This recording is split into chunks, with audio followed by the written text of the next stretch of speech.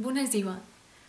El vídeo d'avui serà una mica més especial i la raó és que ja ha arribat el moment de dir adeu i repassar tot el que hem vist al llarg dels últims 16 vídeos.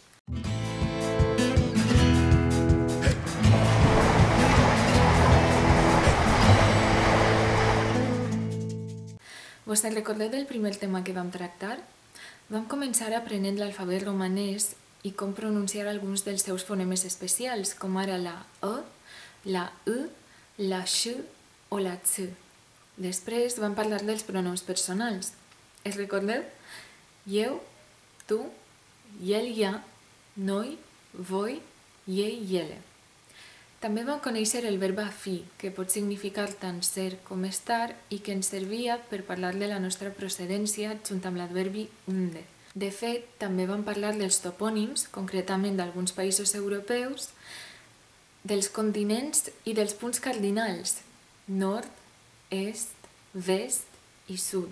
Hem après a fer servir algunes de les salutacions romaneses més populars, a utilitzar els pronoms de cortesia d'una ta i d'una vostra i, per descomptat, a donar les gràcies utilitzant expressions com ara mulțumesc o ser humana. També hem après a comptar fins a cent, sí, fins a cent, dir la nostra edat utilitzar el verb avea i descriure colors. També podem dir dates, quin dia de la setmana és o a quina estació de l'any estem. I també podem parlar de la nostra família. Ara sabem utilitzar els articles determinats masculins, femenins i neutres en singular, cosa que té molt de mèrit. Podem descriure una persona físicament i no tindríem problemes a l'hora de parlar de menjar, descriure sabors o fins i tot anar a un mercat romanès i comprar aliments.